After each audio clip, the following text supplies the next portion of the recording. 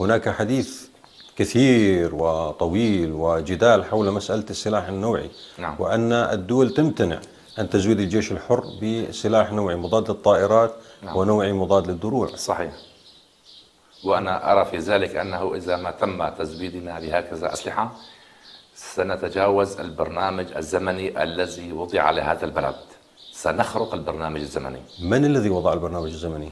الدول الكبرى وضعت برنامجا زمنيا نعم للثورة. برنامجا زمنيا. يعني هذه الدول أفهم من كلامك أن هذه الدول تريد أن تتحكم نعم. بفرضا فرضا موعد انتصار الثورة أو موعد إسقاط النظام. نعم سيدي. ما هو الغرض؟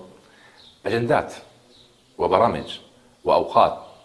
أنا لا أعرف مثلا كافة أحداثيات هذه البرامج لكن أقول لك يعني صعب علينا أن نخرق البرنامج الزمني الذي وضع لنهاية هذه الثورة. صعب.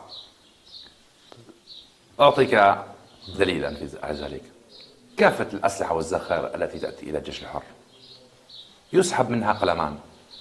السلاح المضاد للطائرات والسلاح المضاد للدبابات التي هي في بلدنا غير قادرين نحن على مواجهتها. لو أن الذخيرة التي تلزمنا في أرض المعركة أتت منذ بداية الثورة بالأحجام والأنواع التي نحن نطلبها ماذا ستعتقد أننا سنفعلون لم يبقى هذا النظام شهر أو شهرين على هذه الأرض نعم. هل يمكن تحديد؟ العمسام طيب العمسام ما هو غرضه من ذلك برأيكم؟ الغرض أنا إذا أردت أن أتكلم بصراحة أرى ليس هناك من من نتيجة لهذا العمل سوى تدمير البلد وأن نبقى خمسين عام غير قادرين على بناء بلدنا. لماذا لماذا يريدون تدمير البلد؟ هل هم حاقدون على السوريين لأنهم سوريين مثلا ولا؟ لا. يعني هنا لو تحدثنا بصراحة أكثر. طيب خيارات المجتمع الدولي تجاه الثورة السورية. إما أن يجدوا فصيل يضمن يضمن الحدود مع إسرائيل وهذا لن يجدوه. فينتقلون إلى الخيار الآخر. ما هو؟ أن تدمر هذه البلد لخمسين عام آخر.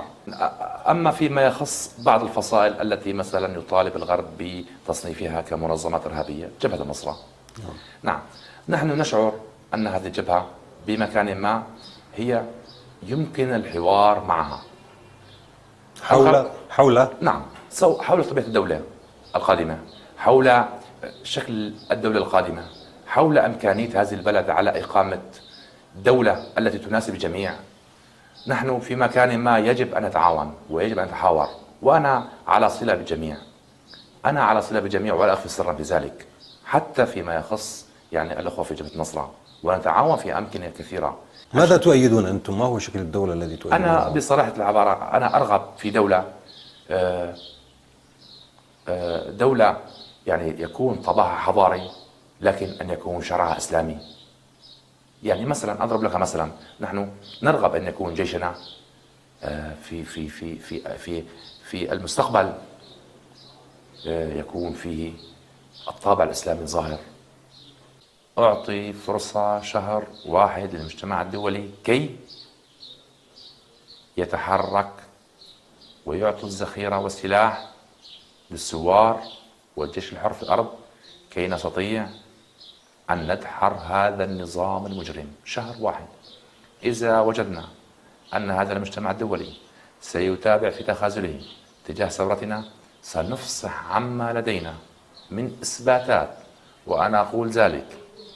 وأعتقد أنك تعرف جيدا أننا صادقون فيما أقول.